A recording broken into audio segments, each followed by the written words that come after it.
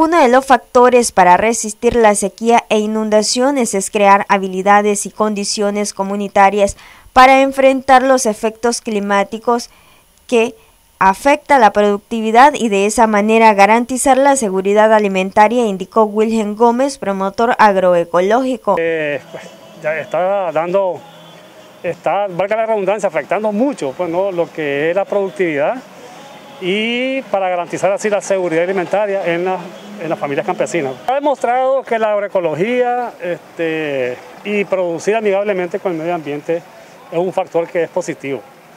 Obviamente se está rescatando todos los métodos ancestrales pues, de productividad y en algunas comunidades han dado resultados. A ver, si hablamos de la parte económica, eh, eh, económicamente, pues la carta tecnológica de producir una manzana de maíz eh, basada en agroecología, lógicamente los costos son más bajos que, que, la, tradicional. Pues.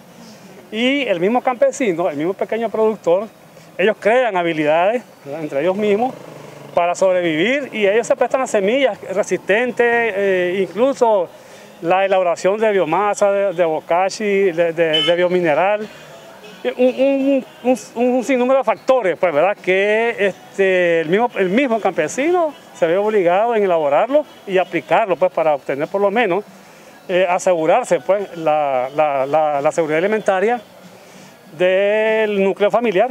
Gómez explicó en qué consiste producir a través de la agroecología. Está implementando ahorita en Nicaragua, ¿verdad?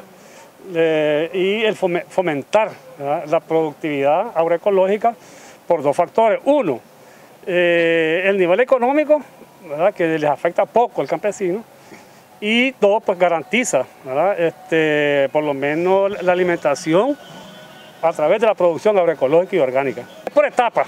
La, la, primera etapa es la selección de semillas resistentes, semillas criollas o acrolladas.